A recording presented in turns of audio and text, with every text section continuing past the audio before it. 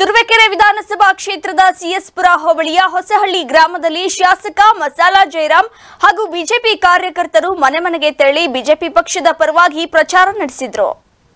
ಇದೇ ಸಂದರ್ಭದಲ್ಲಿ ಮಾತನಾಡಿದ ಮಸಾಲಾ ಜಯರಾಮ್ ಸಿಎಸ್ಪುರ ಹೋಬಳಿಗೆ ಅತ್ಯಂತ ಹೆಚ್ಚು ಅನುದಾನವನ್ನ ತಂದು ಪ್ರತಿಯೊಂದು ಕೆರೆಕಟ್ಟೆ ಸೇರಿದಂತೆ ಪ್ರತಿ ಗ್ರಾಮದಲ್ಲಿಯೂ ಸಹ ನೀರಾವರಿ ವ್ಯವಸ್ಥೆಯನ್ನ ಮಾಡಲಾಗಿದೆ.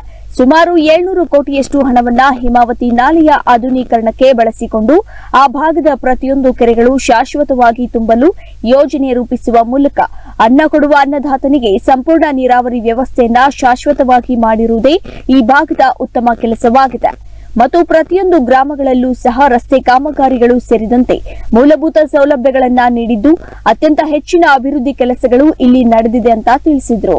ಸೊ ಹಿಂದೆ ಏನೂ ಇರಲಿಲ್ಲ ಇಲ್ಲಿರ್ತಕ್ಕಂಥ ಅದೇ ಹೇಳಿದ್ವಲ್ಲ, ಹೋಗಿ ರೈತರು ನೀವೇ ಭೇಟಿ ಮಾಡಿದ್ರೆ ಗೊತ್ತಾಗುತ್ತೆ.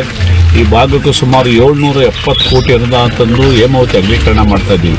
ಏನು D twenty four twenty six ಗಂಟೆ ಮಾಡ್ತಾ ಇದ್ದೀವಿ ನೂರ ಅರವತ್ತಾರಿಂದ ಎಪ್ಪತ್ತರಿಂದ. ಒಟ್ಟು ಟೋಟಲ್ ಎಪ್ಪತ್ತರ ನೂರ ಅರವತ್ತಾರು ಬಂದಿರ್ತಕ್ಕಂಥ ಅನುದಾನ ಸಾವಿರದ ನೂರು ಕೋಟಿ. ಅದು ಏಳ್ನೂರು ಕೋಟಿ ನನ್ನ ಭಾಗಕ್ಕೆ ಬಂದಿದೆ ಅಗಲೀಕರಣ ಮಾಡೋಕ್ಕೆ. ಇದಕ್ಕಿಂತ ಮುಂಚೆ ನಮಗೆ ಸಾವಿರದ ಇನ್ನೂರು ಪೀಸಸ್ ಇರ್ತೀವಿ ಅದು ನಾನ್ನೂರು ಕ್ಯೂಸಸ್ ಮಂಡೆ ತುಂಬ್ಕೊಂಡ್ಬಿಟ್ಟಿತ್ತು ನೀರು ಅದಿತ್ತಿರಲಿಲ್ಲ ನಮಗೆ.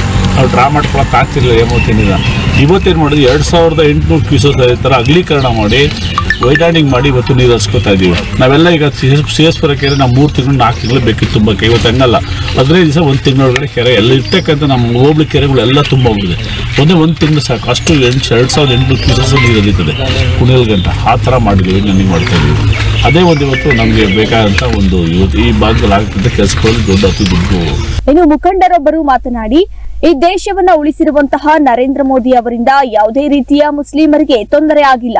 ಈ ದೇಶದಲ್ಲಿ ನಾವೆಲ್ಲ ಸಹೋದರರಂತೆ ಬಾಳುತ್ತಿದ್ದು, ದೇಶ ಉಳಿದರೆ ಮಾತ್ರ ನಾವೆಲ್ಲರೂ ಉಳಿಯುತ್ತೇವೆ. ಬಿಜೆಪಿ ಪಕ್ಷ ದೇಶ ಕಟ್ಟಲು ಮುಂದಾಗಿದ್ದು, ನಾವೆಲ್ಲರೂ ಸಹ ಅವರ ಜೊತೆಯಲ್ಲಿ ಸಾಗುತ್ತೇವೆ. ಮುಸ್ಲಿಮರು ಬಿಜೆಪಿಗೆ ಮತ ಹಾಕುವುದಿಲ್ಲ ಎಂಬುದು ಸುಳ್ಳು.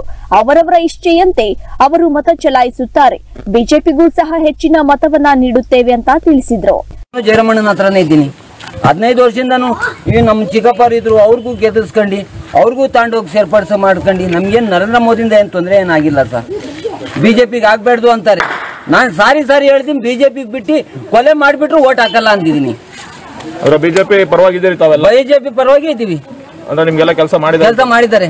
ಒಳ್ಳೆ ಕೆಲಸ ಆಗಿದೆ. ಎಷ್ಟಾಗಿದೆ ನಿಮ್ಮಲ್ಲಿ ನಮ್ಮಲ್ಲಿ ಎಂಟ್ನೂರು ಓಟ್ ಐತೆ ಎಷ್ಟ ಎಷ್ಟಾಗ್ತೀರಾ ತಾವೆಲ್ಲ ನಾವು ಈ ಸಲ ಹೋದ್ ಸಲ ಒಂದ್ ನಾನೂರು ಓಟ್ ಹಾಕ್ಸಿದ್ದೆ. ಈ ಸಲ ಆರ್ನೂರು ಓಟ್ ಪ್ರಯತ್ನ ಪಟ್ಟು ಹಾಕಿಸ್ತೀನಿ ಇನ್ನು ಇದೇ ಸಂದರ್ಭದಲ್ಲಿ ಹೋಬಳಿ ಅಧ್ಯಕ್ಷ ಭಾನುಪ್ರಕಾಶ್ ದಯಾನಂದ್ ತೇಜು ಜಯರಾಮ್ ಸೇರಿದಂತೆ ಬಿಜೆಪಿಯ ಹಲವು ಮುಖಂಡರು ಕಾರ್ಯಕರ್ತರು ಈ ಪ್ರಚಾರದಲ್ಲಿ ಭಾಗಿಯಾಗಿದ್ರು. ಪ್ರಸನ್ನ ದೊಡ್ಡಗುಣಿ ಅಮೋಕ್ ಟಿವಿ ಗುಬ್ಬಿ.